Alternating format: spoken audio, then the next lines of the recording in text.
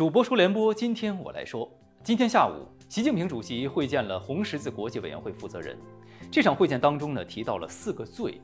习主席说，人道主义是能够凝聚不同文明的最大共识。中国打赢了人类历史上规模最大的脱贫攻坚战。新冠疫情以来，我们开展了历史上规模最大的全球人道主义援助行动。另外，我国也是获得第四十九届南丁格尔奖人数最多的国家。那这届南丁格尔奖一共颁给了三十七人，而我国有七名护理工作者获此殊荣。这四个最，从理念到行动，从国内到国际，从宏观到微观，都表明中国是人道主义事业的积极参与者和贡献者。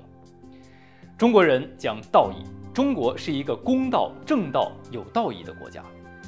中国文化追求的是仁者爱人，天下一家，没有独善其身。这和人道主义精神也是相通的。今天也是第八个中华慈善日，很多爱心人士、团队以及捐赠企业都受到了表彰。数据显示呢，截至目前，全国登记认定的慈善组织超过一点三万家，年度慈善捐赠总额最高突破两千亿元。咱中国人是很有爱心的。前几天呢，一位老人的离世引发了大家的无限哀思，她就是老阿姨龚全珍。扶贫济困、捐资助学是他一辈子的事业。对龚全珍老人的善举，想到了一个词：高山仰止。当然了，还有更多的爱心和善行，并不为大家所知。有的是顺其自然，有的是举手之劳。涓滴成河，星火成炬。崇德扬善，勿以善小而不为。